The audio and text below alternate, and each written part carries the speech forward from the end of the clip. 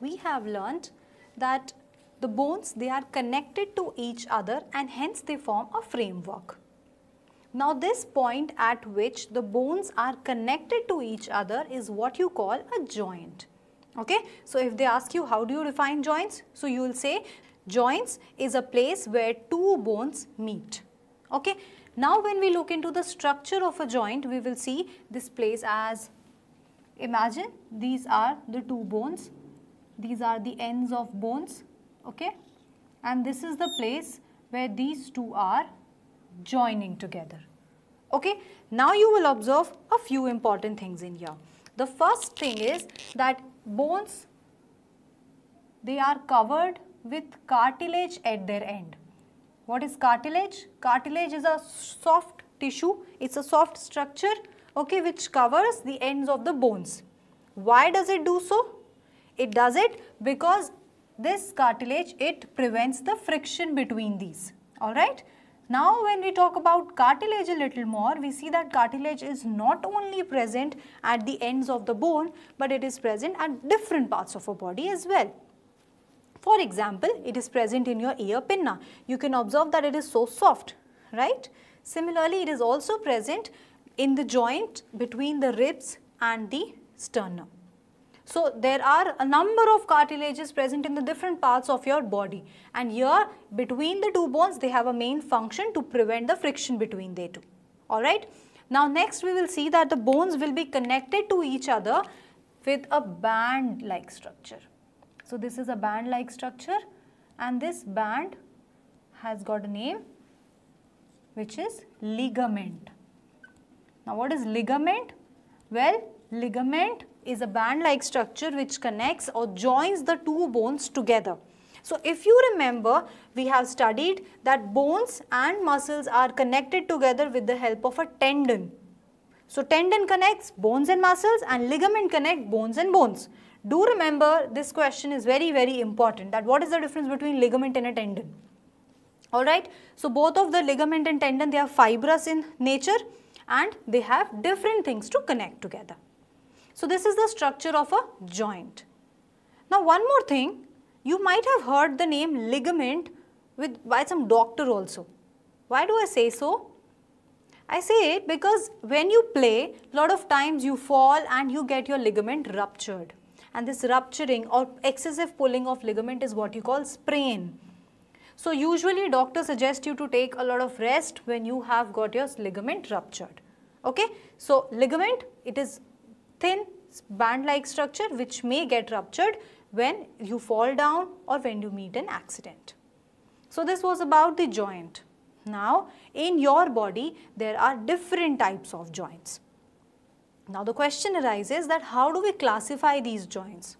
We do it on the basis of movement which means that in our body there are different types of movement. There can be a free movement, there can be a very slight movement or there can be no movement at all.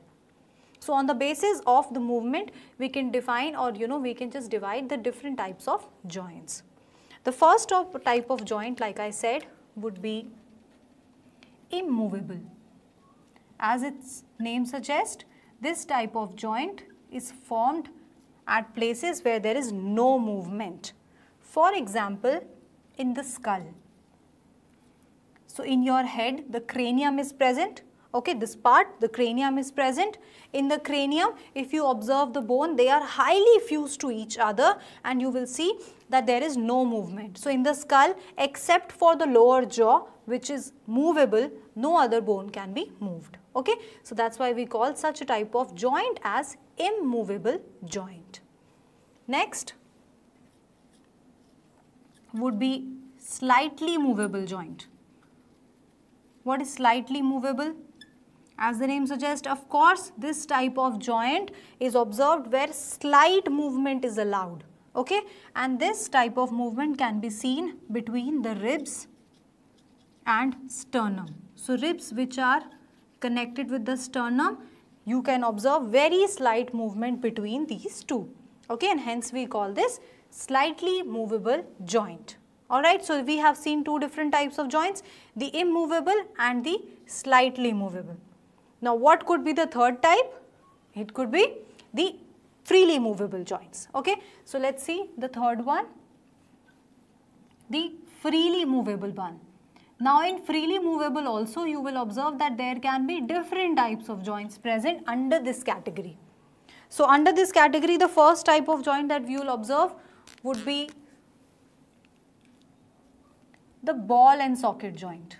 Okay, ball and socket which means at the end of one bone there is a ball like structure okay it is curved it is rounded and with the second bone there is a socket present. So you can observe it in here that the ball of the end of one bone it gets fitted into the socket of the other and hence they form this joint which is the ball and socket joint.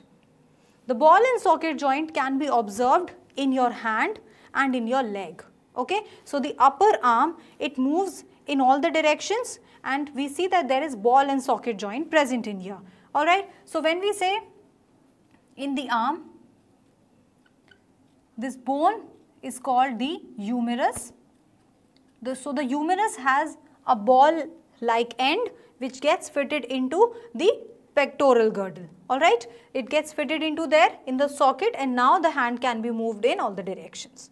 Similarly, like I said, in the legs also. For example, we will say in the thigh particularly, the thigh bone is called as femur so this femur it gets fitted into the pelvic girdle okay and now we see that these two are the example of ball and socket joint.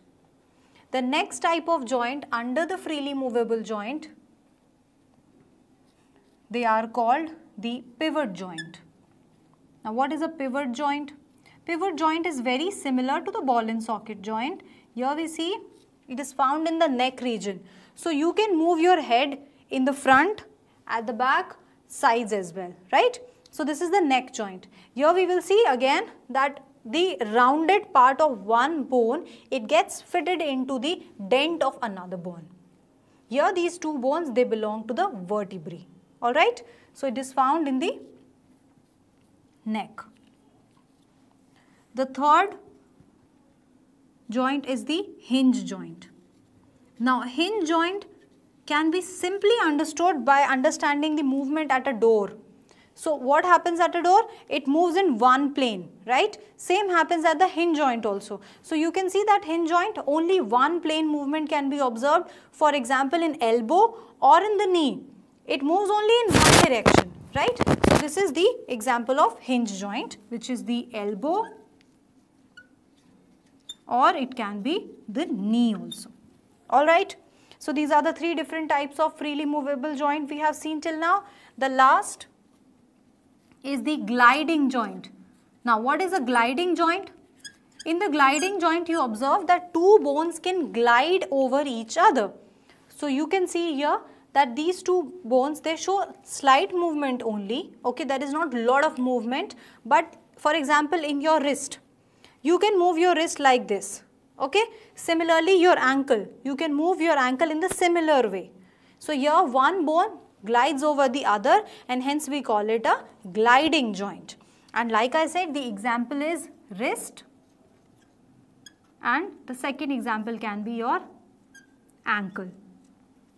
Now you know there are so many bones present in your body. So why don't you pick up any joint and uh, try and understand that what kind of movement it shows and you can figure out that what sort of joint is present in there. So this was about the joints and in this lesson you have learnt that this is the structure of a joint where you will find that two bones are connected with the help of ligament.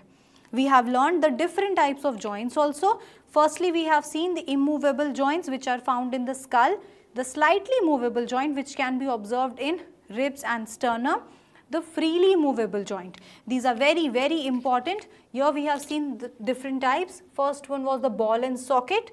Second, we have seen the pivot. Third as the hinge and last as the gliding joint. So, till now you have understood about the bones, you have learnt about the joints as well.